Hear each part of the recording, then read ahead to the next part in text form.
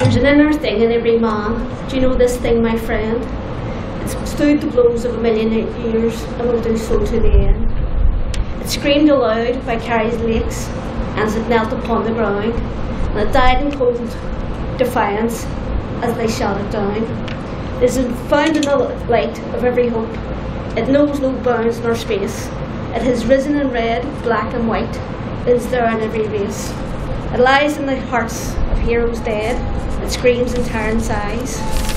It has reached the peak of mountains high. It comes screaming across the skies. It lights the dark of this prison cell.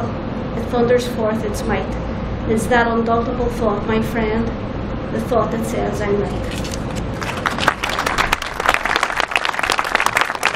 Marge August Comradahi, I want to first of all start by thanking the, the Belfast National Graves for inviting me along here to speak today. I have to say it's a great honour and a great privilege to be here.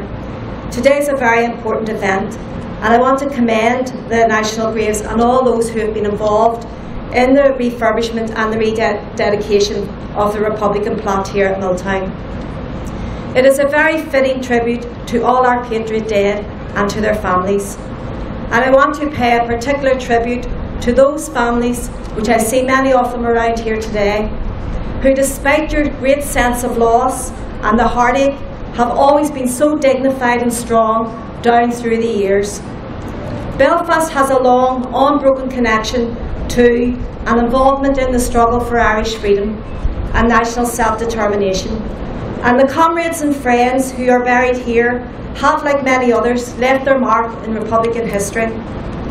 We have lost many great people, family members, good friends and comrades, but their legacy lives on and continues to inspire us all.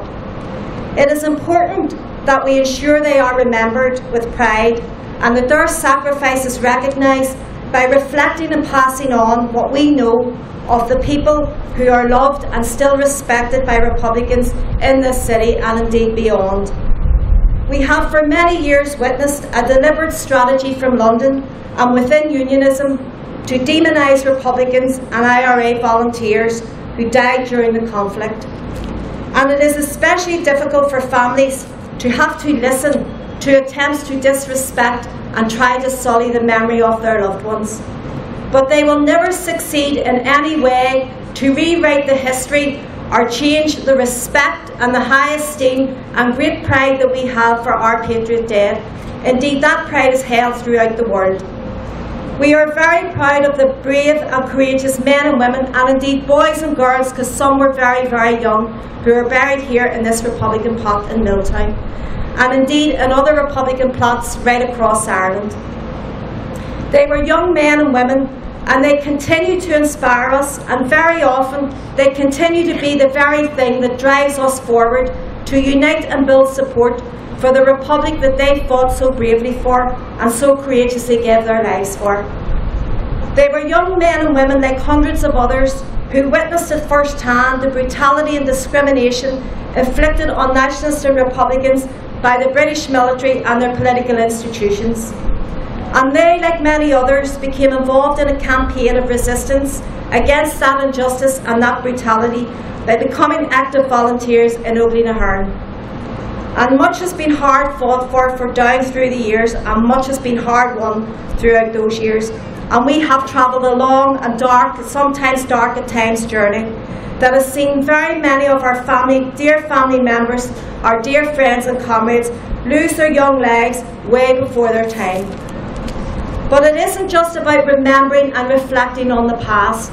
It is also looking to the future, and particularly to the future that we want for all our children and our young people. So when we think of our fallen comrades and friends, we must ensure that their determination and their sacrifice instills in us the responsibility that we have to play our part, whatever part we can play, to build and support uh, for an Irish unity and for an Ireland of equals that we all want to see for our children and young people. There is still very much more for us to do and today we go forward with the confidence to know we are in the last stages of ending partition and creating that new Ireland. That new Ireland with equality and social justice at its core. So while we're paying tribute here today to the brave and courageous men and women we are honouring here and their families, let us also remember that every day they walk with us, that every day they inspire us, and let us go forward and play our part in finishing the journey that they began and create that new socialist republic that, they, that will cherish all of our children equally. That new Ireland that they so bravely fought for, they so bravely died for. So we owe it to them to continue in that struggle. Garamila Mayogov.